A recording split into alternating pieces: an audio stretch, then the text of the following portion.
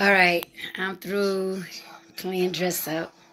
Again, this is Tristarr. I am the trendsetter. Um, I just want to give you a little bit of this. Everything I talk about really is about me or what I'm going through. I'm gonna tell you what my therapy is. When I'm feeling down or don't like a lot of crap about myself, or I look at myself and I'm probably my most worst critic and it's okay because I can look at the things that I need to fix or the things that I don't like. I used to think my boobs were too big and, and you know, they get on my nerves. You know, I look at bags under my eyes.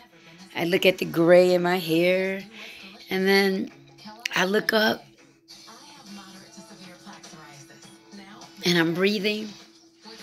And I think about all the different cancers that I had, the breaking of my neck, nine different cancers, a knee replacement. Oh my God, plates in the back of my neck. All kinds of things. And I know beauty is in here. It's inside of me. Even when I feel the most ugliest, I feel beautiful. I just want to tell you guys, it's okay. Just sometimes just take and do an inventory and look in the mirror at yourself you know, look at all the flaws. See? Wrinkles. The rolls. Check them out. And, you know, embrace it, right? And the things that you can change, it just calls for discipline. But the other things that you can't change is learn how to love and don't hate. Don't hate yourself. Don't hate the things that you think is maternal.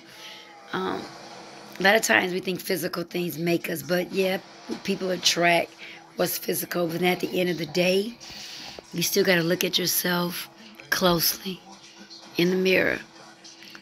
But then you got to look at your heart and your soul. And that's every day you're healing, every day you're growing. There's going to be some pain. But know that's okay.